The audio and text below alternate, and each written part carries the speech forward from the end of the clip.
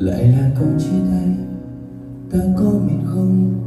Vỡ nát bao nhiêu lần rồi? Trái tim chẳng còn, thấy ngần nước mắt lại rơi lại thêm đớn đau. Ngập ngừng ta chẳng nói cứ thế rời đi. Đôi chân chẳng còn mạnh mẽ lý do chia tay, ai còn biết đâu để mất đi người mình yêu. Đừng khóc một mình em ơi, vì những câu chuyện đâu ai hiểu được. Là do ta đã quá yêu thôi mà là do ta đã chấp nhận tổn thương.